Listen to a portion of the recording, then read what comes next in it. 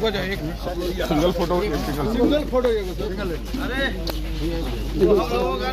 देखिए सबसे बड़ा बात है ये अररिया जिला जो है और खास करके सीमांचल जिला है ये सीमावर्ती इलाका है। हर साल बाढ़ आता है पूरा नदियों का समूह है यहाँ पे।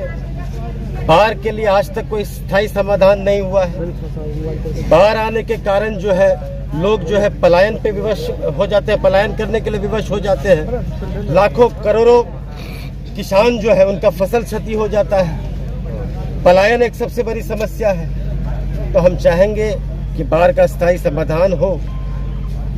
रोजी रोज़गार का अवसर मिले कल कल कल कारखाने स्थापित हो ताकि पलायन को रोका जा सके। कई स्थानीय मुद्दे हैं। आज तक आज देखे होंगे अररिया के युवा करीब पाँच वर्षों से चिक चिक करके चिल्ला रहे हैं। स्टेशन रोड बनना चाहिए। ये बनना क्या? आप बताइए, आप सभी लोग अररिया के हैं। अररिया में एक स्टेशन है।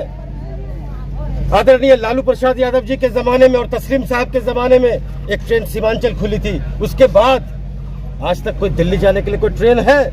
एक तो आप पलायन को नहीं रोक रहे हैं। कम से कम भैया, एक अच्छा ट्रेन तो दे दो दिल्ली जाने के लिए। जिनको पटना जाना पड़ता है, वो मजबूर है कटिहार से पटना जाने के लिए। आज तक कोई एक पटना जाने के लिए कोई ट्रेन है?